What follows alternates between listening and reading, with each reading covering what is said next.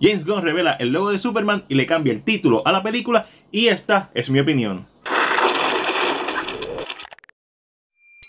Durante la semana pasada se hizo una lectura de guion de lo que se llamaba Superman Legacy y Isabel Merced, ¿verdad? Que es Dora la Exploradora o una de las Spider-Woman en Madame Web, reveló el logo. Este logo es una referencia a Kingdom Comes, que trata sobre un Superman que está retirado, eh, que vuelve a la acción para demostrarle a las nuevas generaciones de héroes, que son héroes noventosos, de una crítica a, ¿verdad? a la violencia y a la escalación del edginess de los 90, cómo ser un verdadero héroe, entre otras cosas. Sobre medio raro en este contexto que Gunn esté utilizando específicamente esta versión del logo de Superman. Pero vamos a ver cómo él conecta esto en la película o si simplemente está utilizando una iconografía diferente para destacarse, lo cual no tiene nada de malo. Ahora, hablando de la imagen que puso de por sí, obviamente una imagen de la parte del pecho del traje, hay cosas que me gustan, hay cosas que entiendo y cosas que no me gustan. Por ejemplo, el símbolo de Kingdom Comes, pues es icónico.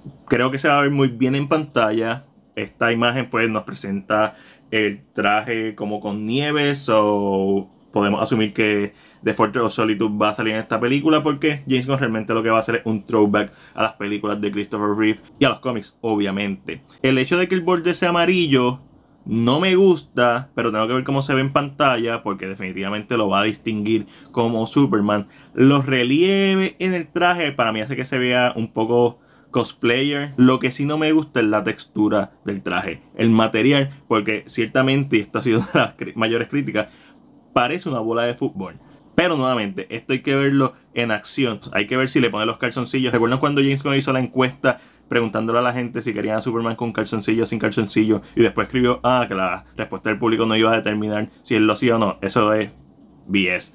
Pero obviamente James Gunn no puede contenerse y con esta imagen pues sigue sigue diciendo mentiras, esa es la realidad. Anunció con esta imagen que la fotografía de Superman comenzó en febrero 29 y que fue una coincidencia y no planeado que empezaran el cumpleaños de Superman.